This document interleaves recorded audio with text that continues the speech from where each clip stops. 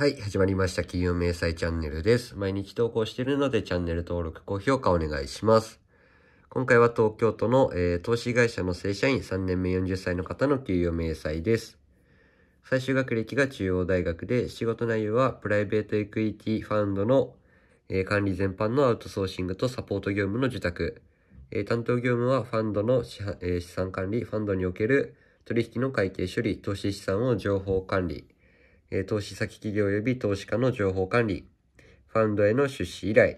対応、え分配業務、え各ファンドの決算書作成、監査対応、えファンドに関わる、え所轄官所轄官庁への届け出対応。などのサポート、その他運用者のサポート業務、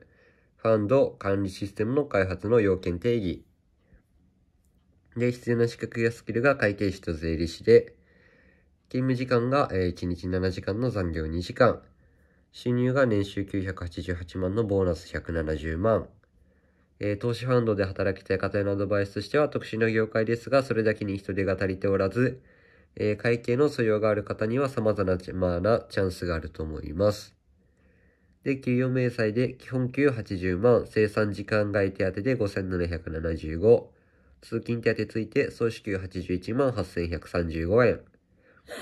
そこから控除引かれて、手取りが59万7403円となっています。えー、今回は投資ファンドで会計などの仕事をする方の給与明細でした。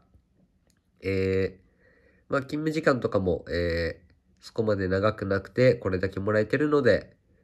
まあ、仕事内容が難しいこと以外はかなりホワイトかなって思いました。今回はこれで終わります。えー、チャンネル登録、高評価お願いします。